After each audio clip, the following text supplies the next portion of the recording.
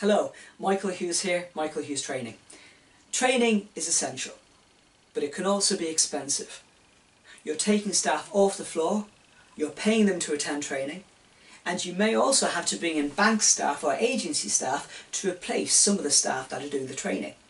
And if you're paying an external trainer like me, it all adds up. If that trainer isn't any good, you wasted your money.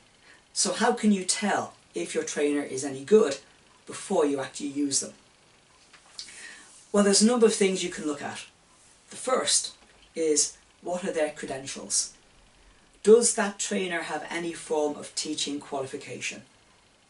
Back in the day, we nurses, we got a thing called the ENB 998, Teaching and Assessing in Clinical Practice. That's what we used on the wards. But since then, there's a range of other teaching qualifications a person can get.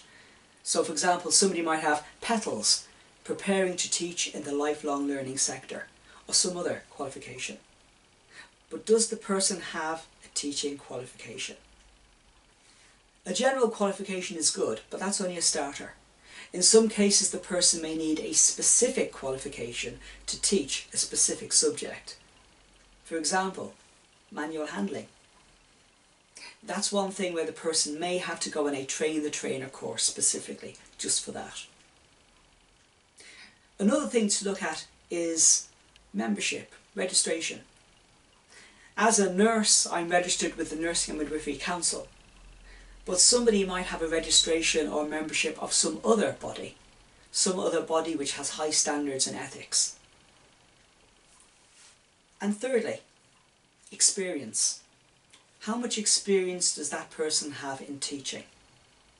Now, I don't want to overstate experience because we all know from school that you can have teachers who've been doing the job for decades and they're still not very good. But chances are, if you have somebody who has been teaching for a while, then they're probably going to be better at it than somebody who's totally new.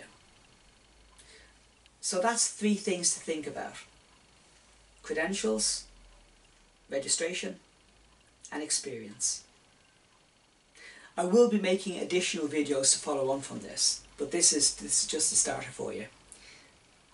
My name is Michael Hughes. If you want to get in touch, my email is info at michaelhughestraining.com.